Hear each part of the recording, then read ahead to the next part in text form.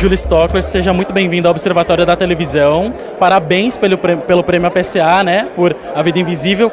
Qual que é a, a, a importância de receber um prêmio como este, que abrange tantas categorias de, dentro da classe artística?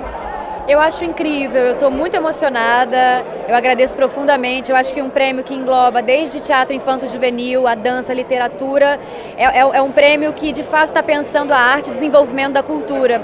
E eu acho que isso no Brasil de hoje, que a gente está vivendo, é de extrema, de extrema importância e, pra, e agradeço. Agradeço do Rio e agradeço São Paulo por esse prêmio paralelo ao cinema, fazendo sucesso ali como a Justina de Aramus 6, né? Conta pra gente como tem sido essa fase e o que, que você espera para o, o destino da Justina na história, né? Que já está caminhando ali para a reta final também.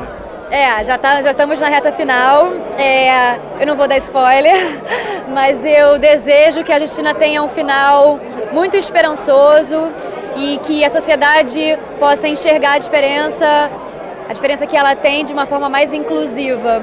É, eu espero que ela tenha ainda muito caminho nas artes e muita, muito afeto pela família. O que ela te agregou na sua vida pessoal, essa personagem? O que você ganhou com ela? A Justina ela me ensinou a olhar o mundo de uma forma mais carinhosa, a ter mais empatia pelo outro, apesar das dificuldades que o outro tem em receber os, os, os, os desejos dela. Então a Justina me ensina a ser uma mulher mais generosa e delicada. Quero que você convide os internautas do Observatório da Televisão a acompanhar você então em Éramos Seis.